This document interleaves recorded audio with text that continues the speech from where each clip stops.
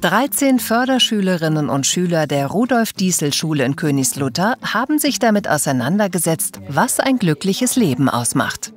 Ich habe für euch, für jede Schülerin, jeden Schüler ein Blatt vorbereitet, wo ihr nochmal überlegt und malt, schreibt, was euch einfällt, was für euch ein gutes Leben ist. Ich habe meine Familie gemalt, mein Haustier, mein Haus, Essen und Trinken, ein Fahrrad, ein Schulbuch und ein Ball. Ich habe gemalt, dass ich es wichtig finde, dass ich Bildung habe, dass die Umwelt besser wird und meine Familie.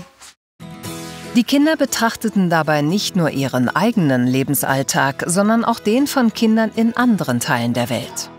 Mir ging es darum, dass die Schülerinnen und Schüler wirklich einmal über einen Tellerrand gucken und einmal gucken, was gibt es eigentlich noch auf der Welt. Also die 17 Ziele wie hochwertige Bildung uns anschauen, Ungleichheit von Lebenswelten und da uns mit beschäftigen.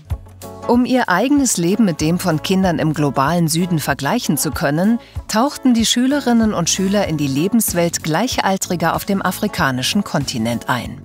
Dabei setzten sie sich exemplarisch mit den Lebensumständen dreier Kinder aus Ruanda, Ghana und Kenia auseinander.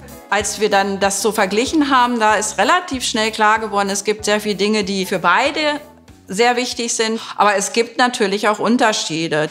Die Schulen sehen anders aus, ne? Haben die auch Strom? Nein. Manche Kinder wünschen sich, dass sie auch in die Schule gehen können. Der Zugang zu Bildung ist ein ganz großes Problem. Und was es manchmal heißt, überhaupt zur Schule gehen zu dürfen und welche langen Schulwege die Kinder auf sich nehmen müssen. In Ringbüchern hielten die Schülerinnen und Schüler ihre Lernergebnisse fest. Sie gestalteten auch eine Afrikakarte, um die ganze Schule zu informieren. Durch den Perspektivwechsel entwickelten die Kinder nicht nur ein Gespür für globale Ungerechtigkeiten, sondern auch das Bedürfnis, selbst wirksam zu werden.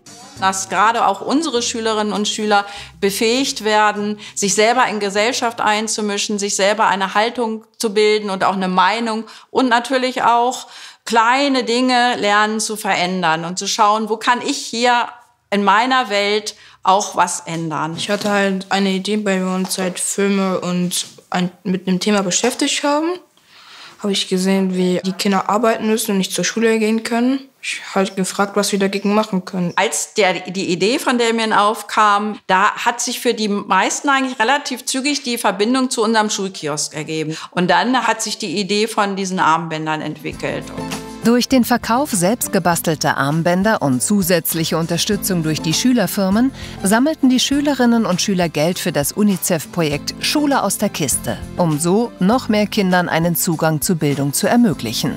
Ich war stolz, dass wir den Kindern helfen konnten und dafür haben wir einen Schulkoffer gespendet. Ich fand es sehr toll. Ich bin sehr stolz auf meine Klassenkameraden. Dass wir ein, etwas anstoßen und dass sich daraus etwas entwickelt, wo sie selbstwirksam werden, das hat mich am meisten beeindruckt und das war auch meine Zielsetzung. Sei du selbst die Veränderung.